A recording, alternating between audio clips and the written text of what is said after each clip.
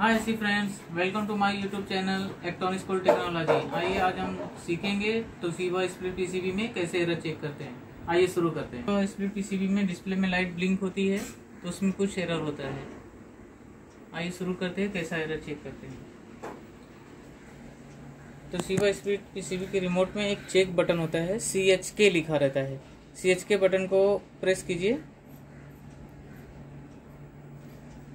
Display पे zero zero आता है रिमोट के।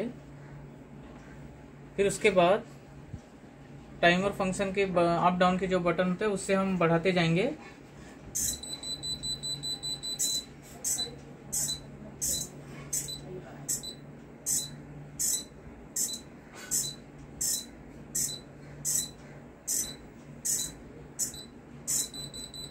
ग्यारह नंबर एरर आ रहा है। ग्यारह नंबर, ये एरर है और यहाँ पे सब ऐसे लाइट ब्लिंक होती है। और बजर की कंटिन्यू बजर की आवाज़ आती है। और लाइट दो लाइट जो है कंटिन्यू ब्लिंक होने लगती है। इसका मतलब होता है एलेवन नंबर एरर आ रहा है, अभी देखा हमने। अब चेक करेंगे कि एलेवन नंबर किस चीज़ का एरर है।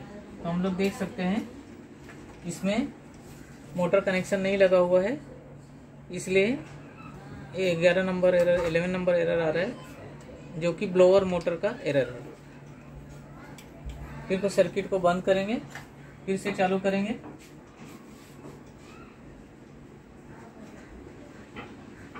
फिर सर्किट को रिस्टार्ट करते हैं।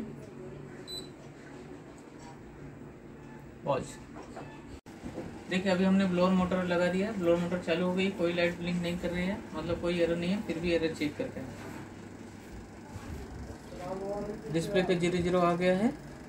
अब टाइमर के बटन से आगे बढ़ा के देखेंगे।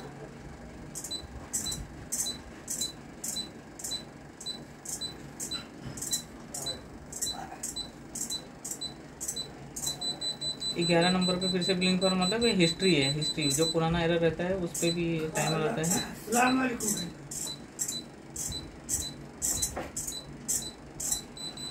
वन एफ़ एफ़ पे डबल बार भी ब्लिंक हो रहा है। इसका मतलब इस तरह अलग तरह की बीप आ रही है। मतलब ये तरह का एरर इसमें आ चुका है। इन्वर्टर का पीसीबी है। Over current compressor over current का एरर आ चुका है। और आगे देखेंगे, और कुछ एरर है।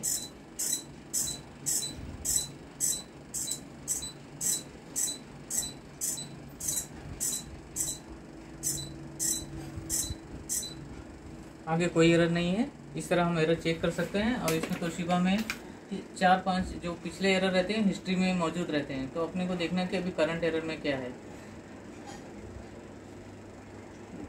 Thanks for watching my video video अच्छा लगे तो लाइक शेयर सब्सक्राइब करना ना भूलें। मिलते हैं नेक्स्ट वीडियो में। तब तक के लिए थैंक यू बाय बाय